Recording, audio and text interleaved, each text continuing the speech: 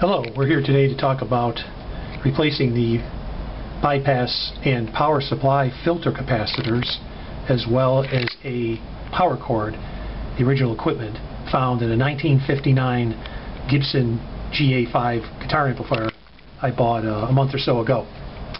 So before we get to taking a look at what I did, let's take a look at what I started with. And over here, um, we have a number of the original components. So this is the uh, 20 microfarad, 25 volt mini-mite bypass capacitor.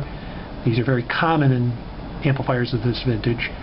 And given it's this amp is at least 55 years old, uh, this capacitor, this electrolytic capacitor, has outlived its expected life.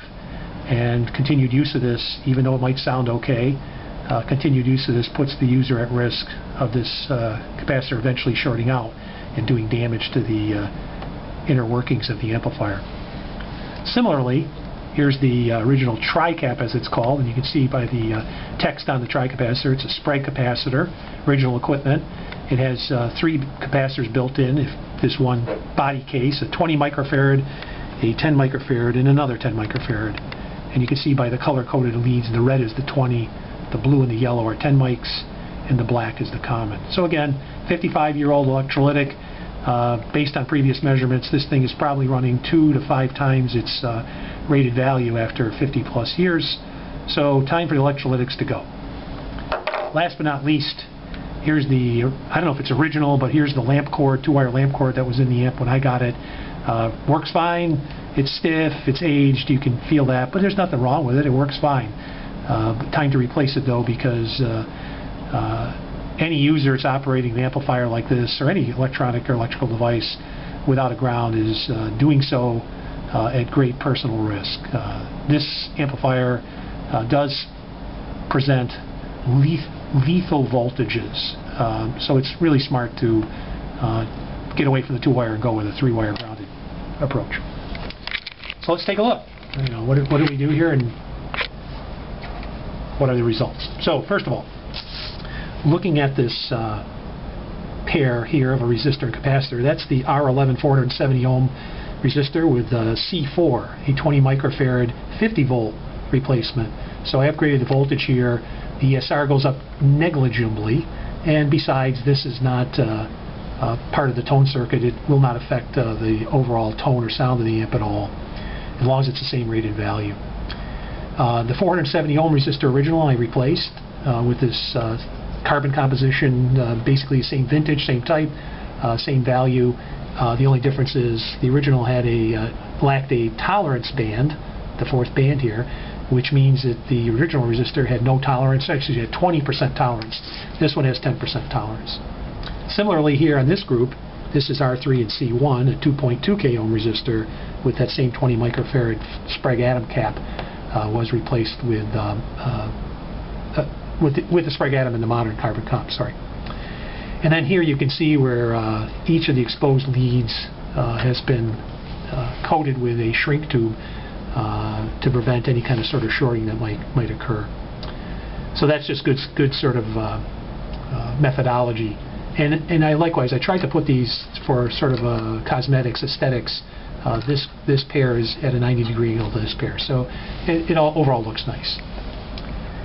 Moving on to the tri-cap, replacement of the tri-cap. So here is a uh, is a Sprague Atom, blue in color, 20 microfarad, a 500 volt capacitor that was a voltage upgrade to the 450 volt T, uh, that was present in the amp. This is a Sprague TVA 1906. Uh, below it are two Sprague Atoms, uh, TVA 1705s. That's a 10 microfarad 450 volt. Um, here on this side, uh, the three common leads were bundled together, created a, a ground mecha, and then connected the original black common lead to this point here. Uh, any of the exposed leads, again, have been shrink wrapped to uh, provide protection. On the positive end of the capacitor, you can see the original wires, the blue, the red, and the yellow, each going to the proper capacitor, uh, C5, C6, and C7, uh, to grab the 10, 10, 10, and 20 microfarad respectively uh, points of that, I'll call it a new sort of stack.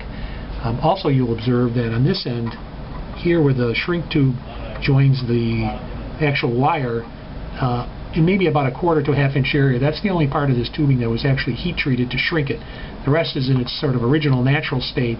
Uh, it's loosely uh, wrapped around the lead. That way, if there's any need to repair, like the solder joint is right here about midpoint, um, you could use a knife to cut this away, expose the joint without having to sort of carve away all that uh, shrink tubing. And that's true on each of the uh, three leads there. Below the stack of capacitors, those three caps, you'll see this brown material uh, right against the chassis. That's a Kapton dielectric. It's a it's a tape with adhesive backing that has been attached to the uh, chassis directly. Uh, one mil Kapton provides uh, has a material property of 500 volts breakdown. So um, if there's any uh, this capacitor stack becomes loose. Um, or any of these leads were to be deflected or pushed down towards the chassis, they would touch the Kapton and prevent them from shorting to what is now held. The chassis is now held at uh, at uh, ground. So no shorting, no issues electrically. To get it to stay in place, I cut a window in the Kapton to size to fit in these uh, cable tie hold downs, which again are have a pressure sensitive adhesive on the back of them and attach directly to the chassis after being cleaned with isopropyl alcohol.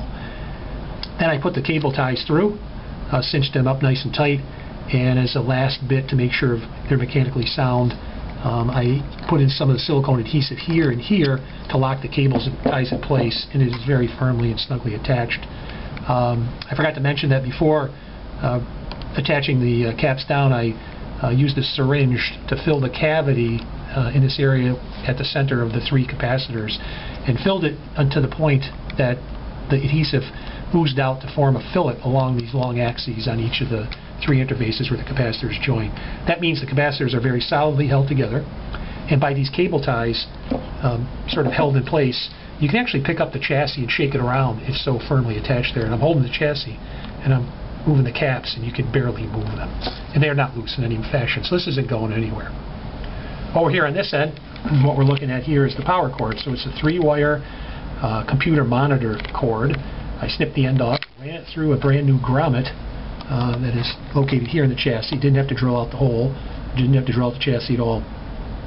And you can't really see it here too well, but there's another grommet of a smaller diameter uh, it, that and has a cable tie uh, clamped around it that keeps the cable from slipping through the chassis if, if force is applied to the cable in a pulling direction and that keeps all this cable in place. Likewise on the other side is a similar grommet and cable tie affair to keep from pushing the cable through the chassis and causing stress uh, where its solder attaches to the to the correct points in the circuit. Lastly, there's a connector here that's been crimped to the green lead, soldered for maximum electrical conducti- conductivity, and then held in place by a nut attached to the uh, transformer chassis screw. So that's it. I hope this helps. If you're thinking about restoring one of these amps, uh, maybe this is some good guidance. Good luck.